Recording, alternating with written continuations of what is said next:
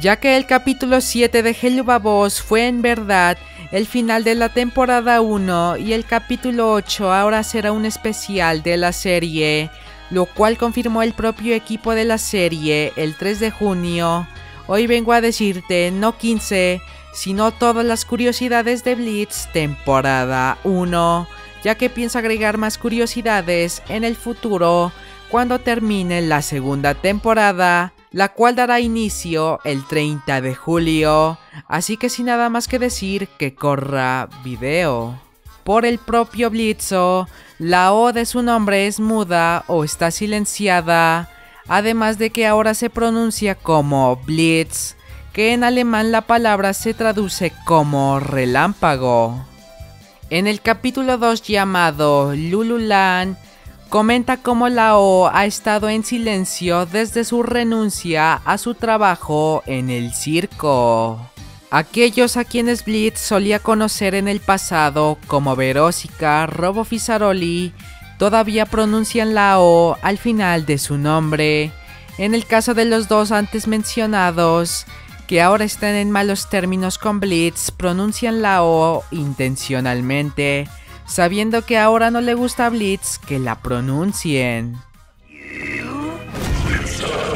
Brandon habló sobre sentir un mayor sentido de conexión con el personaje de Blitz que todos sus otros muchos y variados personajes ficticios y que la relación al personaje entre los fanáticos se siente personal para él. También habló de disfrutar del hecho de que Blitz representa la comedia y el drama como interconectados y que un payaso de clase todavía puede romperse el corazón. Él también describió a Blitz como el basurero de todos sus personajes, en el sentido de que llega a ser asqueroso y enojado, y que es solo él en su peor y mejor día al mismo tiempo. En la oficina de Blitz se puede ver en la pared un póster con él y su hermana Barbie Wire, etiquetado como los asombrosos gemelos Imp, lo que indica que una vez fueron parte de un doble acto de circo.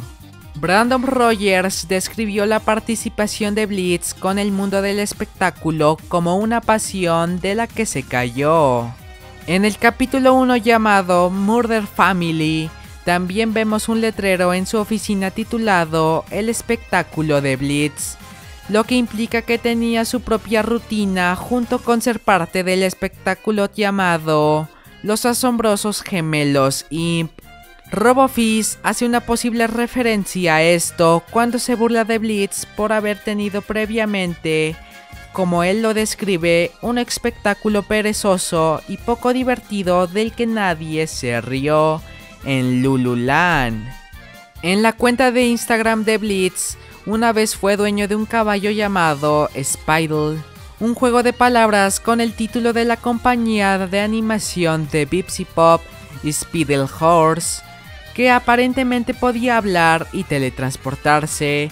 Sin embargo, inicialmente no hizo una aparición oficial fuera del Instagram de Blitz. Debido a esto, no se considera canon. En el capítulo 1 se revela que Blitz va a terapia y que su terapeuta aparentemente lo encuentra asqueroso. En el capítulo 6 llamado Buscadores de la Verdad se revela que Blitz abandonó la universidad. En el mismo capítulo también reveló él mismo que tomó tantos tranquilizantes que se volvió semi inmune a ellos.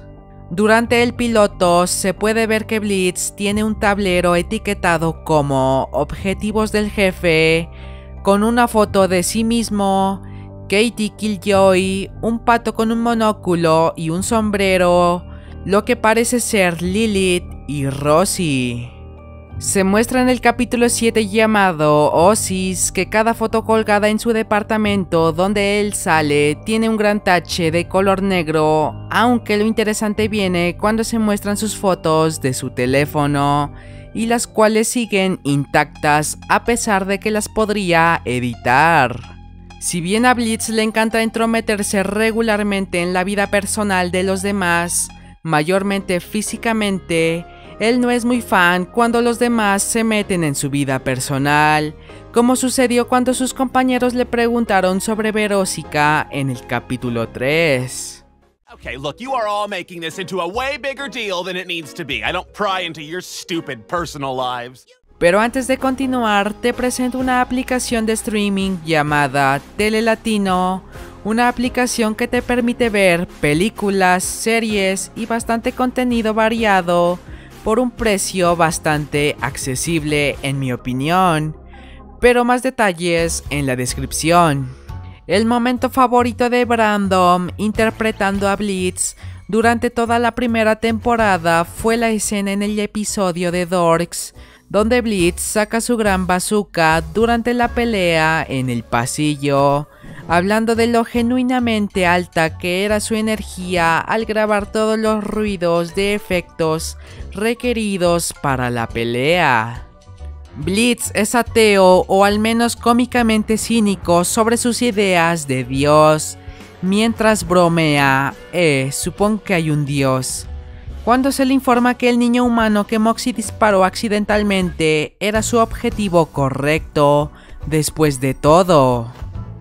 Blitz puede ronronear como un gato, esto como se puede escuchar cuando está viendo en secreto a Moxie dormir durante el piloto y una vez más en el capítulo 5 llamado El Festival de la Cosecha Lunar.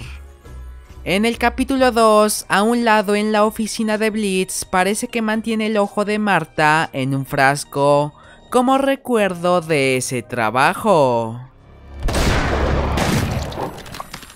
Blitz comparte dos rasgos similares con Loopty Goopty, siendo que él y Loopty tienen la voz de Brandon Rogers y que a ambos no les gusta cuando alguien pronuncia mal sus nombres.